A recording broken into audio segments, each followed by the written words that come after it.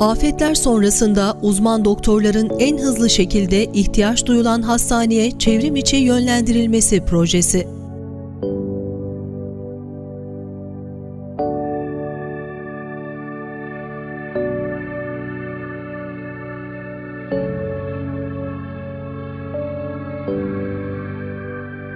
İstanbul'da yaşanabilecek olası afetler karşısında yaşam ve mekan kalitesi yüksek, güvenli bir İstanbul yaratmak üzere afet yönetim sisteminin etkinleştirilerek uygulama kapasitesinin artırılması, afet risklerinin azaltılması hedeflenerek oluşturulan proje kapsamında başta gönüllü örgütlenmeler olmak üzere kişi ve kurum bazlı katılımın en üst seviyeye çıkarılması ana amaçlar içerisinde yer almaktadır.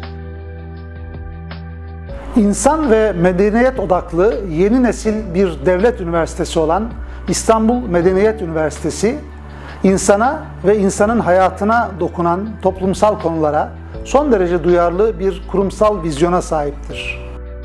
Afet risklerini azaltmak ve dinamik bir afet yönetimi modeli ortaya koymak, sürdürülebilir kalkınmanın önemli bir stratejik bileşeni olarak üniversitemizin de ilgi alanına girmektedir.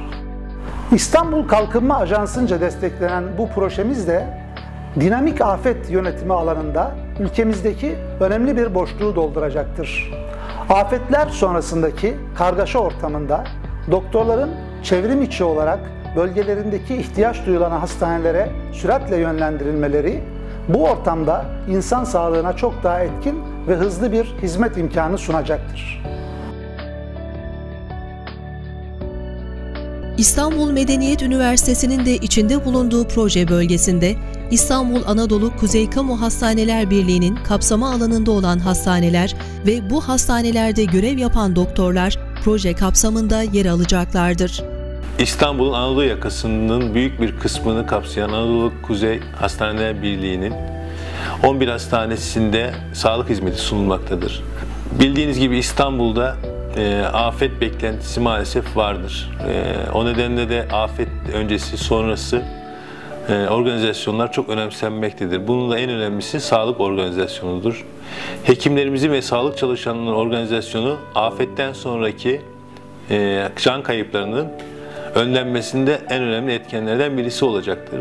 O nedenle bu konuda biz Anadolu Kuzey Birliği olarak e, afet sonrasındaki organizasyonu önemsemekteyiz. Herhangi bir afet meydana geldikten sonra merkezi ve yerel otorite arasında koordineli çalışmalarla kriz yönetimi en verimli şekilde oluşturulabilir. İstanbul'da yaşayan insanlara sorduk. İstanbul'da bir deprem olsa kendinizi güvende hisseder miydiniz? Ee, hissetmem çünkü e, bina yapılarının depreme dayanıklı olduğunu düşünmüyorum. Evet kendimi güvende hissetmem. Ee, o yüzden de burada yaşamaktan korkuyorum. Güvende hissetmiyorum.